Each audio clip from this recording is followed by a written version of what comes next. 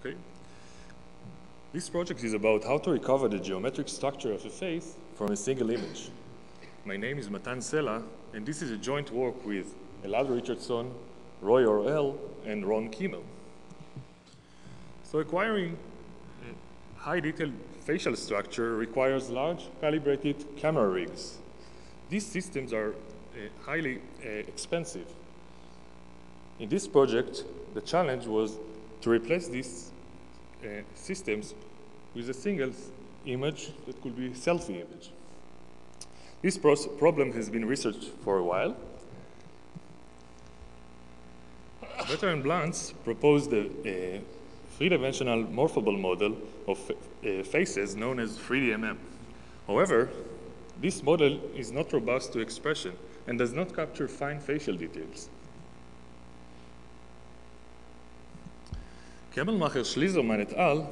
suggests to warp a template face according to texture and shading cues of the input image. However, this model handles only frontal faces with neutral expressions. To cope with pose and expression, Zhu et al. detects facial landmarks and fits 3DMM and a, a blend shape model to the extracted points. Still, fine details are not recovered. To overcome this limitation, we propose a coarse to fine CNN-based approach. Our solution is composed of two networks, CoarseNet and FineNet. The objective, the, object, the objective of CoarseNet is to recover the coarse geometric structure of a face, the expression, and the pose. The purpose of FineNet is to recover, to recover subtle structures such as wrinkles. Given a facial image, we propagate it through CoarseNet to recover the 3DMM and expression representation, as well as the pose. This network is iterative, so we apply it multiple times until convergence. Since the 3DMM does not capture uh, fine details, we generate depth image using fully differentiable rendering layer.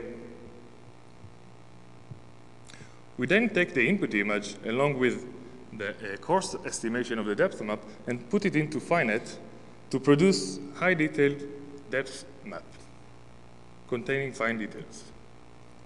Now I will describe CoarseNet. We will start with a short, short background about 3D morphable models.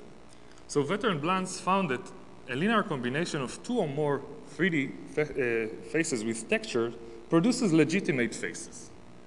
Thus, we could represent 3D faces in a low-dimensional linear basis. So we constructed such a basis. We took a data set of textured 3D faces. We automatically computed non-rigid registration between all the faces in the database.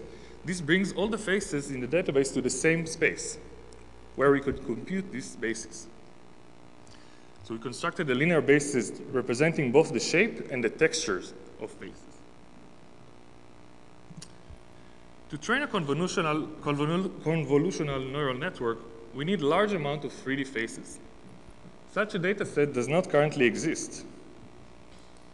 Instead, we propose to generate synthetic facial images. So we randomly drawn facial shapes and, and texture from our model we set random pose, lighting conditions, and background. And we created a large data set of synthetic facial images for which the geometric structure is known. As I mentioned earlier, CoarseNet is iterative. In each iteration, we feed the input with feedback channels representing the current output of the network.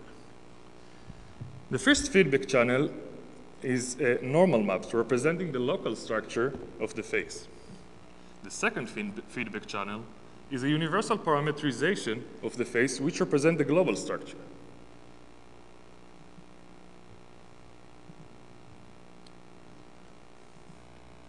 Similar to other pose estimation techniques, we found that iterative framework performs better than a single pass network.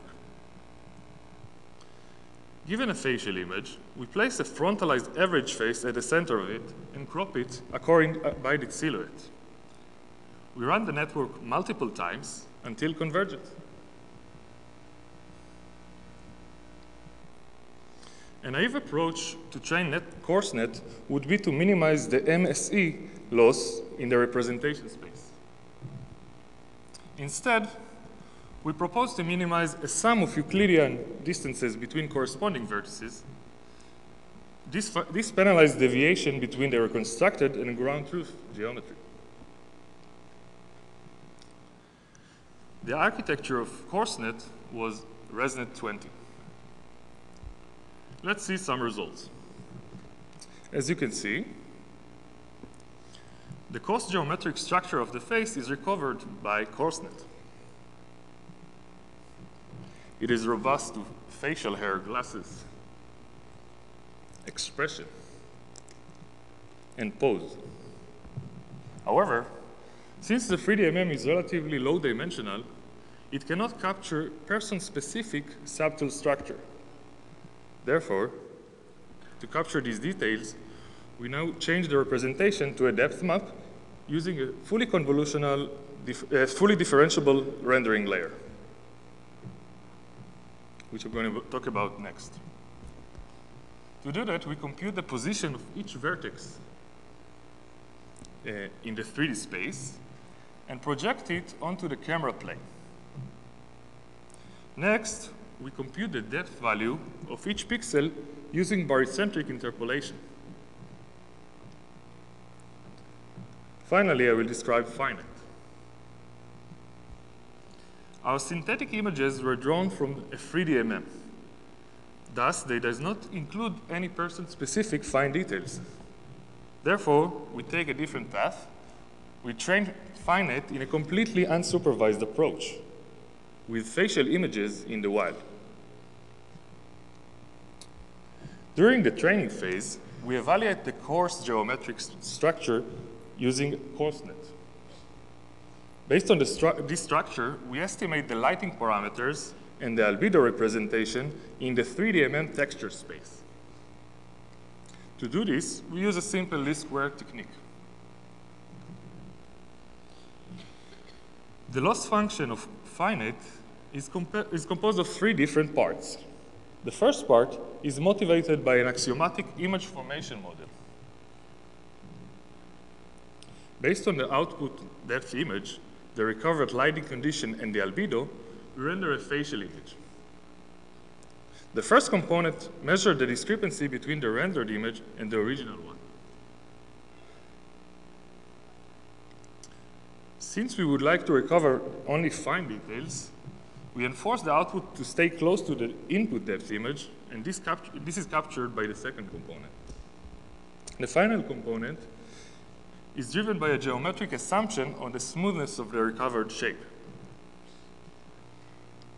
The, the architecture of FineNet is designed with a transfer learning approach.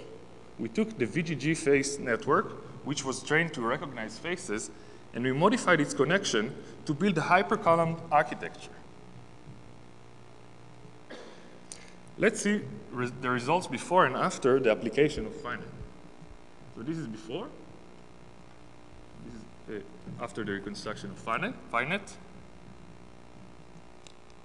The proposed solution is an interplay between a data-driven 3DMM model and an axiomatic shape from shading approach.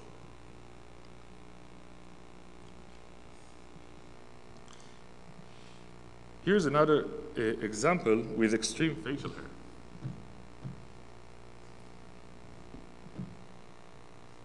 Here, the geometric structure of the glasses was reconstructed as part of the face.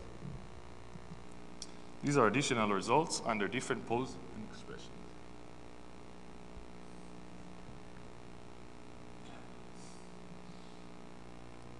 We compared our approach to the template-based uh, approach and the 3DMM approach.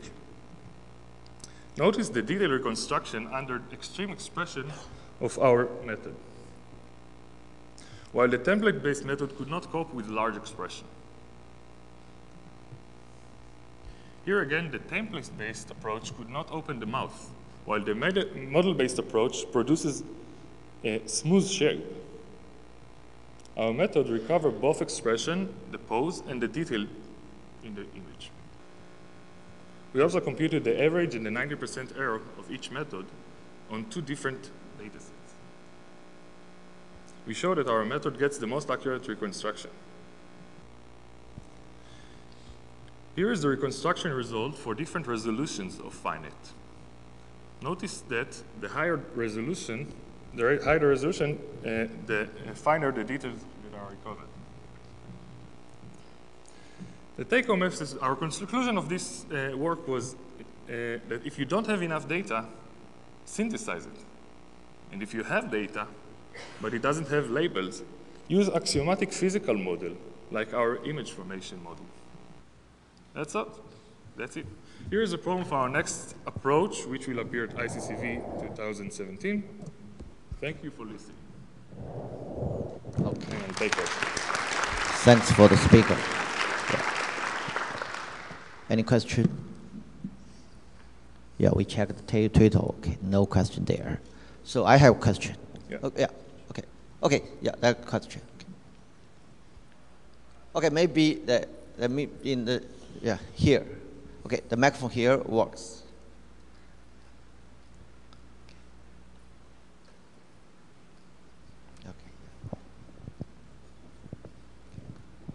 Hi, uh, Toby Sharp, Microsoft. Um, in your render layer, how are you choosing to deal with hidden surfaces? For example, Oh. do you have a Z buffer? Okay, yeah, exactly. So actually, I didn't, I didn't mention it, but we compute the closest triangles for each pixel. So we have a Z, buff, Z buffer essentially. We assume the, uh, fixed triangulation also. So it's I not differentiable with respect to the triangulation. So the, triang- the topology is fixed. It's fixed. In, I mean, And what about the visibility? Are you differentiating through that as well? Uh, so, so in, in our, re- in our uh, rendering layer, we compute for each pixel the closest triangle, and then we compute barycentric interpolation in this specific triangle. And this is fully differentiable. Yes, but uh, obviously the closest triangle will also change with the parameters. So is that also being differentiated? Sorry, I didn't get it. Okay, it's okay. We can take it offline. Thanks. Okay, sorry. Any question? Okay, I have one. yeah. Uh, what's the uh, image size for input to your coarse network? Image size. Okay, so in the coarse network is uh, 200 by 200. 200 by And in the fine network, I I showed two different uh, versions. One was uh, 200 by 200, and one was 400 by 400. Okay. If uh, the input image less than size less than uh, yeah 200 by 200, okay, then could you okay recover more detail than the image itself? Uh, actually, I mean, we didn't test it for higher resolution than that, Okay. but uh, in our new approach, we already use 512 by 512, 512. Thank you. Yeah. Yeah. Okay. A question. Uh, so my question is, uh, what's the difference from your fine detail recover from classical shape from shading? So do you have any comparison about your results with shape from shading method? Uh, yes. So one of the methods, well, the template-based uh, method I mentioned is a shape from is essentially compute an optical flow from a reference face to the uh, uh, texture of, a, of to a specific uh, given frontal face, and then they use a shading shape from shading approach to recover the fine details. So essentially, we com- we compared ourselves against this uh, t- technique. Yeah. So it's a sh- the template-based is a shape from shading approach. Okay, got it. Next one. Quick one. Hi, uh, thank you for the presentation. Uh, how do you cope with occlusions or different complicated shading? Okay, uh, so to deal with occlusions, we have this uh, in the in the uh, CoarseNet. We have this uh, uh, universal parameterization feedback loop. So this tells the networks to, uh, uh, it gives net, each point on a face a specific color or si- specific signature. So this help, helps the networks to uh, to uh, discriminate between the left cheek and the right cheek. That's for self-occlusions, right? But we didn't, we didn't, we could, one option would be to uh, generate synthetic images with occluded parts, for example. We didn't do it. How about different shading? Sorry? How about different shading scenarios? If you don't have a liberation object, Different, sorry? shading. Shading? Yeah. So if you Uh, don't oh, yeah, you so assume if you have liberation object. shadows, if you have self shadows on the, on the face, it's something that could, could be ge- generated by a ray tracer. Or different lighting and Yeah, so we, we could essentially, actually, we generated the data set with a simple, simple uh, uh, uh, renderer, uh, like Fo- Phong renderer. But if we used ray, ray tracer, we could uh, uh, synthesize images with uh, self uh, shadows as well. And then I, I guess that the network could handle that. But this is just to uh, uh, demonstrate an idea. Okay, so we still have a last uh, quick question. Very quick. Uh, did you explore trying the second stage detail recovery with different initializations? Uh, it looks like maybe you could do the very simple linear model solve that would be very quick and then just use your deep network at the end. Yeah, we, we could do it, uh, but because I said that the rendering layer is uh, differentiable, so we train it end to end eventually. Right. So we can we can backpropagate gradient through the rendering layer and then change the weights of the course of CoarseNet by, by an, in an unsupervised manner. Yeah, I guess it'd be interesting to know how much that benefits the. Yeah, it's, Yeah, it's, the a, it's a good question, and we didn't test test it. Okay, let's thanks the speaker.